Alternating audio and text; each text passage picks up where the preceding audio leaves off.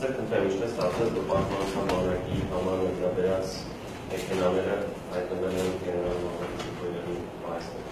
Չգիտեմ, այդ որտեղից է ձեզ մոտ այդ վստահությունը, որ պաշտպանության բանակի համար հատկացված մեքենաները հայտնվել են Մանվել Գրիգորյանի մոտ, այդ ձևի բան չկա։ Չկա պարզապես այդ վերջերս էլ համացանցում եղել է նյութ, Աստրախանի համայնքի բարերարները անձամբ իրենց հանձնել են այդ տված մեքենաները, որի մասին դուք խոսում եք, եւ դա իրենց այդ նվիրատվության ընթացքում շեշտել են, որ դա տալիս են երկրապահ կամավորական միությանը եւ երիտասարդ թեմին, որբիսի իրենց, հա, այդ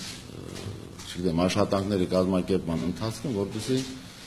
իրենք օգտվեն այդ մեքենաներից։ Ընդհանրապես նման բան չկա, պաշտպանության բանակի նվիրաբերած բոլոր մեքենաները գտնում են պաշտպանության բանակի հաշվեկշռում։ Ես դա ամենայն պատասխանատվությամբ նշում եմ, որ այս բան չկա։ Ну, ասելա, բան չունեմ ասելու, բայց վերջերչով դատը կավարտվի, դատարանը իր վճիռը կկայացնի, ու այն ժամանակ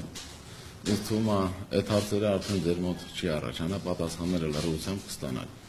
Բայց միանշանակ ամենան պատասխանատվությամբ հայտարարում եմ, որ ոչ մի բան, ինչ որ արձանագրվել է պաշտպանության բանակի հետ, ընդհանրապես ոչ մի կապ չունի